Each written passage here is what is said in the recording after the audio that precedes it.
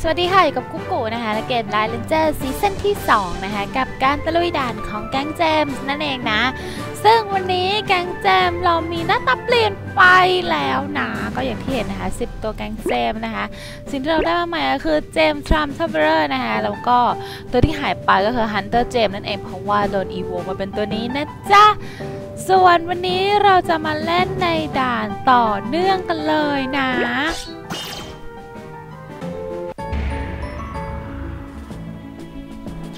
าจะไม่ผิดก็คือเราเล่นถึงด่านที่ 237 แล้วนะคะ ก็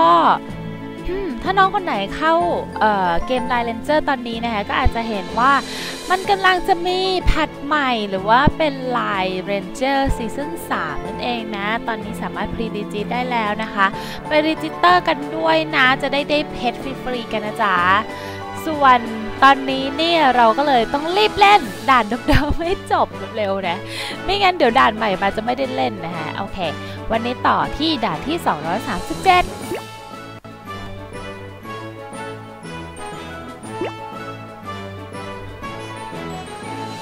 ไม่ต้องเอาเพื่อนไปแล้วกันเนาะ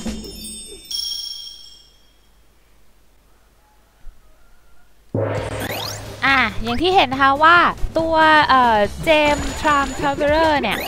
ยังไม่สามารถกดได้เพราะว่าใช้เพชร 6,330 นะคะ เราต้องอัปเดตตัวนี้ก่อนนะผลึกให้แม็กเอ้ยเอ้ยเอ้ยเอ้ยเอ้ยเฮ้ยเฮ้ย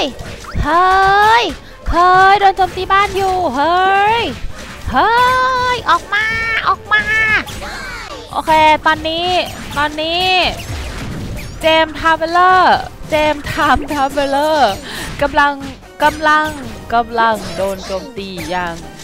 ดุเดือดและกำลังจะตาย เพราะฉะนั้น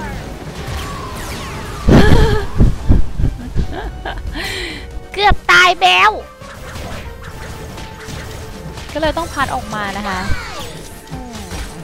มัวแต่เมาส์มอยไงประเด็น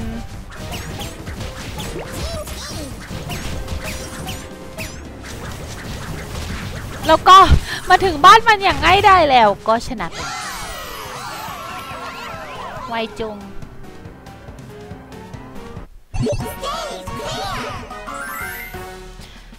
ชนะแล้วค่ะสำหรับเจมอุ้ย